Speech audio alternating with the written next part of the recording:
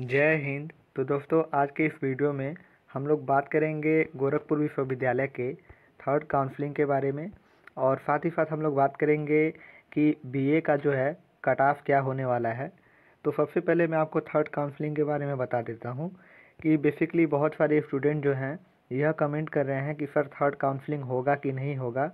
तो मैं आपको बता दूँ कि जो आपका सेकेंड काउंसलिंग है, उसके एडमिशन का जो है, आज लास्ट डेट है। ठीक है, जो भी एडमिशन होने हैं, जैसे कि एम इंग्लिश में बहुत सारे एडमिशन बाकी हैं तो उसके लिए भी नोटिस जारी किया गया है कि आज जो भी अभ्यर्थी एमए इंग्लिश में एडमिशन लेना चाहते हैं, वह जो है एडमिशन ले सकते हैं, ठीक है?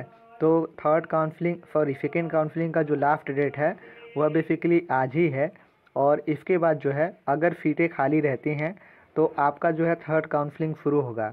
तो अब आपके मन में यह डाउट होगा कि सर थर्ड काउंसलिंग का नोटिस कब तक आएगा?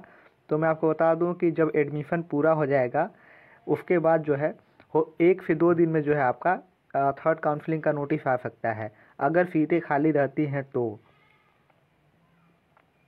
मैं आपको बता दूँ कि बहुत सारे ऐसे कोर्स हैं जिसमें जो है सीटें फुल हो चुकी हैं तो उनमें जो है थर्ड काउंसलिंग नहीं होगा। जो जो भी कोर्स ऐसे हैं जिसमें कुछ सीटें रह गई हैं, उसमें जो है थर्ड काउंसलिंग होगा। और थर्ड काउंसलिंग का नोटिस जैसे ही आता है, मैं आपको जो है वीडियो के माध्यम से सबसे पहले बता दूँगा। तो आप लोग चैनल पर बने रहें और परेशान होने की ज़रूरत नहीं है, आपको जो है अपडेट सबसे पहले मिल जाएगी ताकि आप लोग समय से जो है थर्ड काउंसलिंग कर सकें। बहुत सारे ऐसे छात्र हैं जो बी में एडमिशन ले चुके हैं और उनका यह प्रश्न है कि, सर, हमको फ़ी रिसिप्ट कब जमा करना है? तो मैं आपको बता दूँ कि फ़ी रिसिप्ट का कोई एग्जैक्ट डेट नहीं होता है कि आपको इस दिन ले जाके जमा करना है। आप लोग फ़ीस पेमेंट करने के एक हफ़्ते के अंदर कभी भी जाके जमा कर सकते हैं। और फ़ी रिसिप्ट जो है आपका बेसिकली दिन ऑफ़िस में जमा हो जाता है।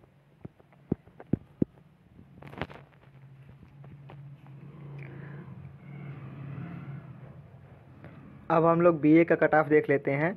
तो बीए का कट बीए का कट ऑफ़ आप लोग देखेंगे तो बीए में जो आज एडमिशन होगा, आप लोग यहाँ पर देख सकते हैं बाईस आठ दो हज़ार चौबीस को बीए में प्रथम वर्ष में दस बजे से साढ़े बारह बजे जो है एडमिशन इसका होगा। और अन्य पिछड़ा वर्ग की प्रतीक्षा सूची एफसी की प्रतीक्षा सूची और एफटी की प्रतीक्षा सूची में जो भी अभ्यर्थी हैं, उनका एडमिशन आज होगा।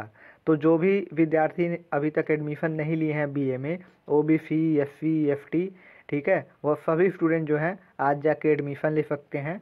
आपका एडमिशन दस बजे से साढ़े बारह बजे के बीच में होगा। आपका कितना भी नंबर हो, आप लोगों को एडमिशन में आप अपने जो है डॉक्यूमेंट के साथ जो है चले जाना है। आपको जो है वहाँ पर एडमिशन मिल जाएगा। तो बीए का आज का कट ऑफ़ जो है मतलब कट ऑफ़ नंबर तो कोई नहीं निकाला गया कितना नंबर हो। कितना भी आपका नंबर हो, आप लोग जा सकते हैं। यही आपका कट ऑफ़ है आज का कि समस्त अभ्यर्थी जा सकते हैं। इसके बाद अगर सीटें खाली होती हैं तो फिर एक राउंड में आपको बुलाया जा सकता है। हालाँकि अगर सभी अभ्यर्थी आज पहुँच गए तो आज जो है बीए के भी सीटें जो हैं भर सकती हैं।